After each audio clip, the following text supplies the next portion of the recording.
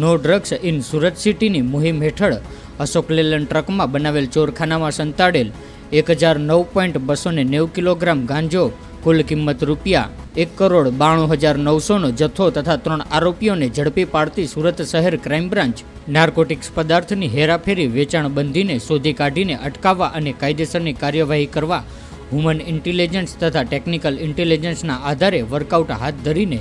ચોક્કસ બાતમીના આધારે સુરત કડોદરા રોડ વેચડા પાટિયા, વિનાયક પેટ્રોલ પંપ નજીક માધવ પાર્ક ટ્રાન્સપોર્ટના ગોડાઉનની બાજુમાં આવેલ નવા રોડ ઉપરથી એક Ashok Leyland truck number MH અઢાર બીજી અઠ્યાવીસ એકાણુંમાં બનાવેલ ચોરખાનામાં સંતાડીને સુરત શહેરમાં ઘુસાડતા પહેલા જ વગર પાસ પરમિટનો પ્રતિબંધિત ગાંજાના જથ્થાના મુદ્દામાલ સાથે ત્રણ આરોપીઓને સુરત ક્રાઇમ બ્રાન્ચે ઝડપી પાડ્યા હતા.